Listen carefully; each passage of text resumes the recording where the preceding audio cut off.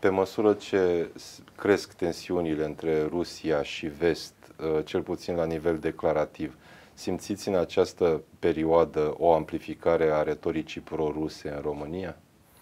Nu, este dificil de discutat în acești termeni. Ceea ce putem spune este o diminuare substanțială a referirilor la Federația Rusă și la o poziționare, hai să spunem, mai degrabă ambiguă în raport cu Federația Rusă. Deci nu vorbim de o retorică pro-rusă, um, deși putem să ne uităm, dacă vreți, la numărul de... Nu neapărat la nivel politic, La numărul de interviuri da. date, de exemplu, de ambasadorul rus, Maginov, numai în vara asta, a dat trei interviuri majore. Care ambasador acreditat în România a dat atâtea interviuri într-un timp atât de scurt? În general, un ambasador nu dă interviuri, mă rog, de ziua națională a statului, are trei date acum, apărând evident punctul de vedere al Federației Ruse, dar care înseamnă dezinformare, care înseamnă propagandă și care n-a fost contracarat de către nimeni. În partea cealaltă vedem politicienii români care nu mai atacă acest subiect.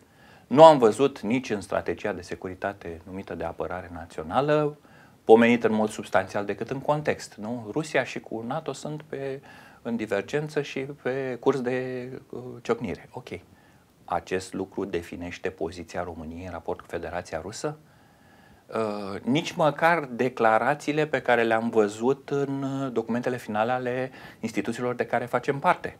În summituri, în reuniuni ministeriale, vezi uh, reuniunile ministeriale Consiliul Uniunii, Consiliile Uniunii Europene, Consiliul European, vezi uh, summiturile NATO sau ministeriale NATO, n-am văzut nici măcar acele formulări care sunt îmbrățișate în spațiu public de către politicieni români și oameni în funcții publice români. Acest lucru s-a întâmplat. Poate e bine, unii spun, domnule, nu mai suntem uh, antiruși, cum a fost, uh, ca aici e marea teză, cum a fost Traian Băsescu. Ok, nimeni nu cere să fie antiprorus. Traian Băsescu a gestionat țara asta și în perioada războiului din părții fierbința războiului din Ucraina. Uh, același Traian Băsescu a avut și întâlnire cu toți liderii lumii la summitul NATO de la București, dacă vă aduceți aminte. Însă, a evita și a scoate din retorica instituțiilor publice poziționarea față de Rusia este, zic eu, un pas înapoi, chiar dacă nu neapărat putem vorbi despre politicieni sau uh, analiști sau care să adopte retorica uh, prorusă și să fie prea în prim plan. E și o chestiune care ține de publicul românesc. Uh, publicul românesc are un anumit tip de reticență, nu în raport cu cetățenii ruși, nu în raport cu Federația Rusă, cât cu politicile actuale ale Federației Ruse și a lui Vladimir Putin. Am avut un studiu în 2009, Centrul de Prevenire a Conflictelor și Early Warning, în raport cu aceste, cu aceste subiecte și am făcut studiul la nivelul spațiului public, la nivelul dimensiunii politice și la nivelul, uh, la nivelul uh, mass media Vreau să spun că situația și, și cu sondaj de opinie la nivelul populației, situația arăta cam așa. Și suntem înainte, eram după 2008, dar eram înainte de evenimentele actuale. Prin 2009 a fost uh, studiul făcut. Uh, deschiderea față de cetățeni ruși ruși uh, era cam de 60%, acceptabilitatea de către români. Suntem, întotdeauna am avut o deschidere și bune gazde și primitori. Față de Rusia ca țară era 50-50%. Mă rog, ea era 43 la 42 sau ceva de genul acesta, cu plus pentru mai degrabă acceptabilitate, restul nu știu, nu se pronunță.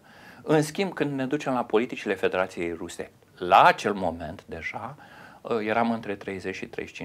Ea a fost făcută și pe zone istorice și pe rural-urban și ă, tot studiul ăla ă, e publicat și poate fi găsit, downloadat simplu de pe site-ul Centrului de Prevenire a Conflictelor. Acest lucru ne arată că acceptabilitatea în România astăzi și chiar pe elemente profunde din, din societate este foarte redusă spre o apetență în a saluta tipul acesta de politici revizioniste și în general Rusia e privită cu politicile Rusiei sunt privite cu, cu suspiciune, cu atât mai mult după momentul uh, 2014, după anexarea Crimeei și agresiunea militară din estul Ucrainei, unde reticențele sunt majore. Însă, aceste lucruri se pot schimba, pentru că dacă în spațiu public, mai ales pe zonă simbolică, aici se lucrează, uh, dispare în discursul public o poziționare clară față de Federația Rusă, s-ar putea ca în timp lucrurile acestea se conteze.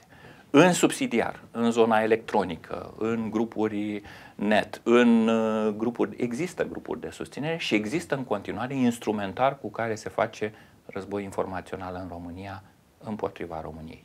Care este acest instrumentar? E un instrumentar vast da. și vorbim aici despre date care există, inclusiv declarații din interiorul celor care au lucrat pe zona asta. Uh, în primul rând, câteva lucruri despre război informațional ca să vedem ce este și ce nu este. Uh, e foarte dificil de definit și aici există și mari reticențe, tocmai pentru că uh, sunt granițe foarte fine între libertatea de exprimare și libera circulație a ideilor, pe care nu numai că o apreciem, ba o și susținem. Nu spunea cineva, Raciu parcă, că e gata să și moară pentru dreptul celuilalt de a spune ceva cu care nu ești de acord. A doua zonă este o zonă cu graniță subțire, este o zonă de PR, public diplomacy. Lobby, dacă vreți, în termeni americani. Deci, o companie, un grup care este plătit pentru a face promovarea unui anumit set de idei în spațiu mediatic. Spuneam că nu e același lucru cu partea de libera circulație a ideilor, pentru că acolo fiecare își spune ideile liber, ceea ce crede, ci deja este plătit, e pe baza unui contract. Și există companii care se ocupă cu această chestiune, cu promovarea în Statele Unite, chiar firme de lobby, în Uniunea Europeană care nu acceptă formal lobby-ului, deși există peste tot. Sunt alte grupuri informale, alte asociații, organizații care promovează acest tip de mesaje. E, linia foarte subțire care vine de desubt se duce către război informațional, unde deja este vorba despre atacarea elementelor profunde de percepție și de voința statului. În principiu, Puteți războiul, da exemple? în principiu, războiul informațional înseamnă crearea unor realități alternative. Iau bucăți de adevăr și fapte, combin cu uh, elemente de, de silogisme, deci nu cu argumente reale, și introduc foarte multe minciuni pe care le cultiv eventual, citând terțe surse pe care tot eu le-am promovat și în final am o poveste, un narrative, spun americanii, o poveste o realitate alternativă celei pe care o poate percepe orice om și cea a adevărului real. Ce se întâmplă? Uh, în actuala societate în care mass media joacă un rol important, percepția poate lua locul realității. O percepție cultivată în mod substanțial, în termen îndelungat, suplinește realitatea. Omul care este rapid și care nu are timp și care circulă și are multe treabă, de obicei își preia informația și odată ce și-a stabilit în sine o poveste, îi este foarte greu să-și o conteste el însuși.